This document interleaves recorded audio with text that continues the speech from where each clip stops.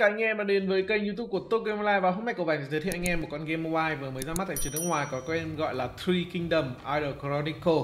Thì các bạn thấy trên màn hình là con game này màn hình dọc nhé anh em nhé và một con game lấy chủ đề Tam Quốc. Đó, thì đây là một con game nhập file rảnh tay thôi. Và cái điểm đặc biệt của con game ờ, Three Kingdom ờ, Idol Chronicle này đó là cái đồ họa. Game sở hữu một cái đồ họa 2.5D thực sự rất là đẹp và ấn tượng. Ờ, đây thì đại loại thì các bạn sẽ có đây nhân vật các bạn sẽ có các vị tướng thời tam quốc và nó sẽ tự chiến đấu thôi. Đấy các bạn sẽ tập trung nhiều vào việc là thứ nhất là chiêu mộ các uh, tướng đồng hành đi kèm. Thứ hai là nâng cấp các nhân vật ừ, tương tự các game kiểu dạng game nhập vai thể tướng rảnh tay ấy. Đây đây có phần hòm thư này từ từ. Đây, bấm vào nhiệm vụ nhá. Các bạn sẽ kết hợp với việc là ừ, chiến đấu và làm nhiệm vụ. Đây chúng ta sẽ danh sách tướng rất là nhiều luôn cho tướng ra trận này.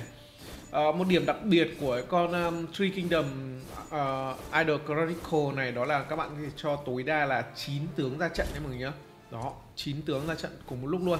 Chiến đấu nhìn rất là đã tay. Uh, đã đã mắt chính xác là đã mắt sorry anh em.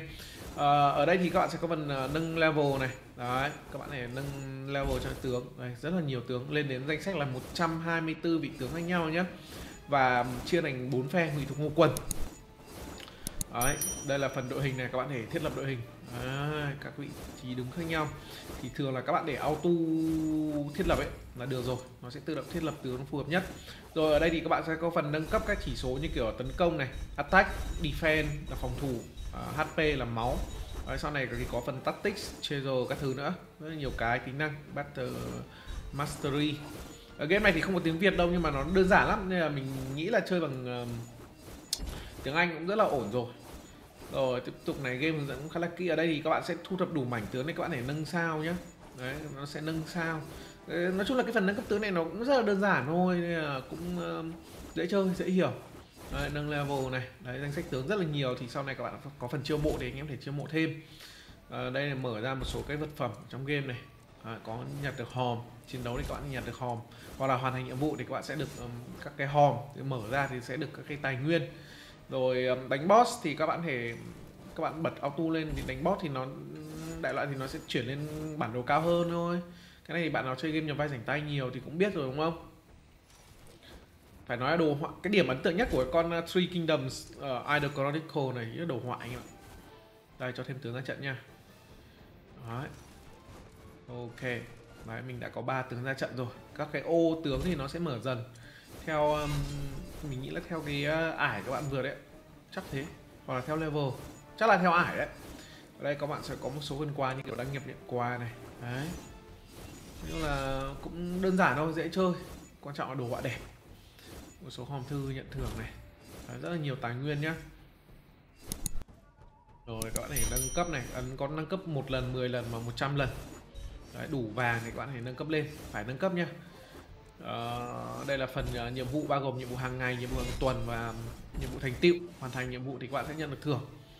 Rất là đơn giản đúng không? Rồi chúng ta sẽ tiếp tục nha. Bấm vào đây này, nâng level cho tướng này. Đó. Phải nói là game này nó vẽ nhân vật đẹp thật và đồ họa nó cũng rất là đẹp nhá Nói chung là ấn tượng nhất là đồ họa rồi. Còn cách chơi thì um, vẫn là đặc trưng của dòng game nhà vai rảnh tay thôi. Đây nâng sao này. Ok. Đây mình sẽ được tặng một tướng miễn phí mình sẽ chọn nhá. Quan vũ này ờ, điêu thuyền triệu vân ờ, gia cát lượng trương phi. Đấy rất là nhiều tướng thì các bạn này lựa chọn. Có lẽ mình sẽ chọn gia cát lượng đi. Tài nguyên. Rồi cái, ờ, hiện tại mình cho được 3 slot và tướng vào thôi nên mình sẽ đổi một tướng tím kia thành gia cát lượng nhá. À, mình sẽ đổi đổi lại. Đấy mình để auto thì nó sẽ tự động thiết lập sao cho phù hợp nhất rồi lưu lại này. Đó. Rồi. Đấy về cơ bản thì game nó cũng chỉ như vậy thôi. Thật ra thì nó không không đơn giản dễ chơi và không hề phức tạp một tí gì. Đấy, nhưng mà thật sự game mình thấy là cái đồ họa đủ thu hút anh em game thủ rồi. Rồi nâng level này đã có nâng cấp lên có thể chọn một nâng 100 lần cho nhanh. Tất nhiên là phải có đủ tài nguyên nhé ở đây thì mình cũng đang level thấp nên mình chưa mở khóa được quá nhiều tính năng đâu anh em ạ nhưng mà đúng là chỉ nếu mà vừa vào game mà nhìn quả đồ họa này với một con game nhập vai rảnh tay nhá mà hình dọc nhá thì đồ họa này thực sự rất là ấn tượng đấy và con game này thì hiện tại thì nó không chơi được bằng à, giả lập nhé mọi người nhé nó chưa tối ưu cho giả lập bởi vì nó làm bằng engine Unreal và cái uh, nói chung là con game này nó chưa tối ưu cho giả lập nó không chơi được giả lập được. Thì các bạn phải chuyển đổi store sang khu vực Singapore cho mình cả trên uh, Google Play và App Store nhé uh, thì các bạn chuyển sang uh, là cài file APK Android dễ hơn anh em thể cài file APK ở trên mạng. Mình sẽ để một đường link thì các bạn ừ, cài game nó dễ hơn. Nhưng mà chỉ chơi được trên điện thoại thôi không chơi được bằng giả lập nha. Game chưa tối ưu giả lập. Mặc dù trông thì game thường là các bạn biết là những con game uh, rảnh tay màn hình dọc này thì nó không kén cấu hình lắm. Mình nghĩ là nó cái game này nó không quá nặng mặc dù đồ họa nó 2.5D rất là đẹp nhưng mà chắc là nó chưa tối ưu cho giả lập thôi. Chứ còn nó không phải là quá nặng đây cho thêm tướng ra trận này. Đó. Chúng ta sẽ có tướng thì rất là nhiều phẩm khác nhau mình sẽ cho tướng vào. Rồi lại tiếp tục nâng cấp. Đấy về cơ bản cơ bản thì ban đầu nó như vậy thôi. Game nó chưa mở quá nhiều các cái tính năng hoạt động nên là cũng chưa làm ờ, chưa phải là làm khó được mình. Ồ, đây là quà nạp đầu này các bạn này nạp đầu cũng không phải nạp đầu mà là gói quà gì đó. 500 nghìn. Ồ, dã man thật cái game này nếu mà có trên store Việt thì các bạn để đầu tư chứ còn đây là game nước ngoài nên là thôi tùy mỗi người thôi. Mình chỉ giới thiệu. Đây các bạn để xem quảng cáo này nhận thêm tài nguyên nhé đấy các bạn kết hợp với việc đi làm nhiệm vụ các thứ rồi uh, tìm hiểu các tính năng trong game.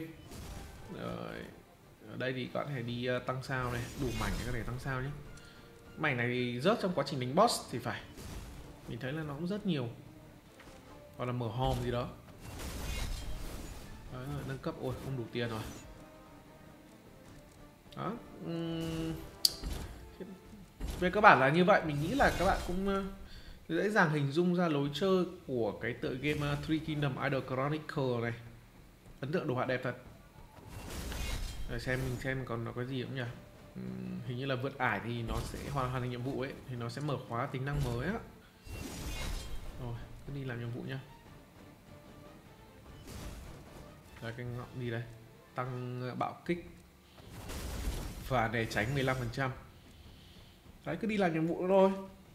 Bởi vì làm nhiệm vụ thì nó hoàn thành nhiệm vụ thì nó sẽ nhận th nó thưởng cho mọi người rất là nhiều nhé ờ, cài đặt bình máu này cái này mình đã cài đặt rồi.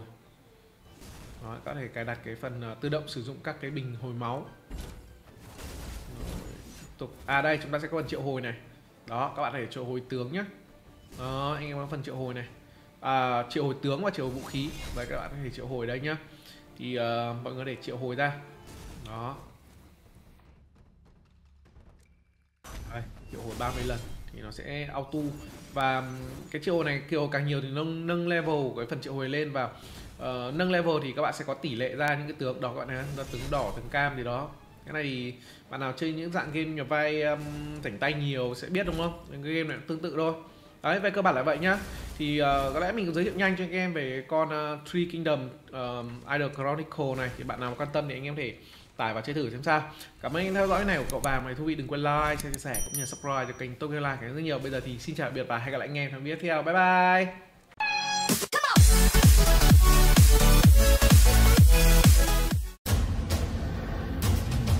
We'll be right